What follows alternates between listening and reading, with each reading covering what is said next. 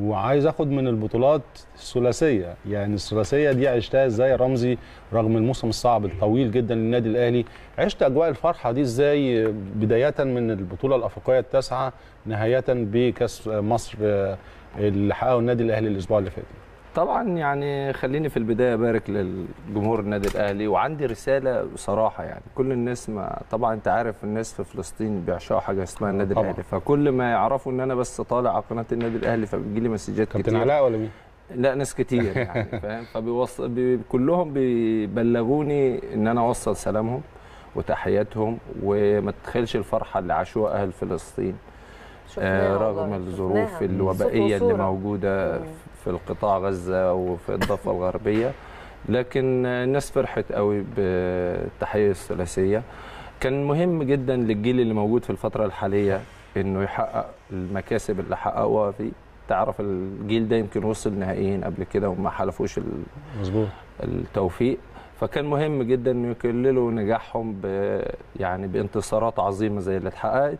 رغم إن كانت في جت في ظروف صعبة في موسم من أصعب المواسم صحيح طبعا لو الظروف اللي بيمر بيها العالم فترة التوقفات الطويلة اللي حصلت آه، حتة خلينا نتكلم برضو جزء كبير على الإدارة النادي الأهلي اتخاذ كان قرار في توقيت مهم جدا تغيير كان كان المدير جزء كبير. من صناعة. البطولة رمزي؟ طبعا يمكن أنت شفت تصريح اللاعبين في الفترة الأخيرة إنه فايلر كان مختلف فايلر قبل الكورونا غير فايلر غير بعد الكورونا. فإن أنت كإدارة تكون لامس الموضوع ده وتتدخل في توقيت مهم جدا وفي risk كبير لكن أنت تاخد على عاتقك المسؤولية دي وتغير مدير فني يمكن أكتر الناس قعدوا يستغربوا من القرار. صحيح.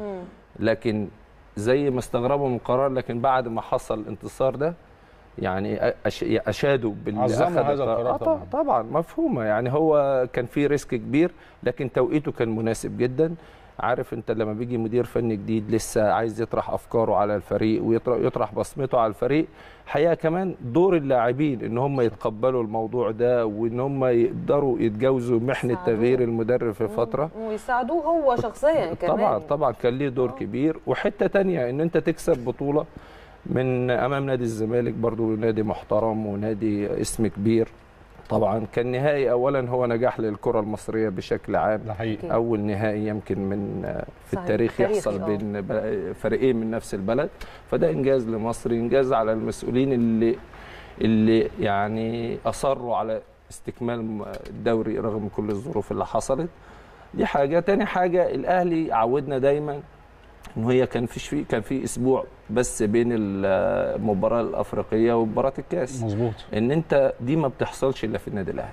إن أنت بعد مباراة السوبر تقفل صفحة وما تبالغش في الأفراح وإن أنت تفكر في المباراة اللي بعدها. وده كان دايما مدرسة الأهلي موجودة في الموضوع. الأهلي لعب ماتشين خلال أسبوع بعد بعد النهائي النهائي لعب الأفريقي. الاتحاد قبل إن النهائي أنت طبعا. تكسب وتاخد بطولة. تانية. فده ده يحسب اولا للإدارة النادي الأهلي إن أنت تقدر تغير تخرج اللعيبة من جو الاحتفالات وما تبالغش في الاحتفالات عشان عندك مباراة وعندك آه، بطولة. مباراة بطولة تانية. بالظبط. وتاني نفس تحسب للجهاز الفني اللي هو طوى الصفحة بتاعت أفريقيا وركز على الصفحة المحلية. ويا رب تكمل بالسوبر بإذن الله.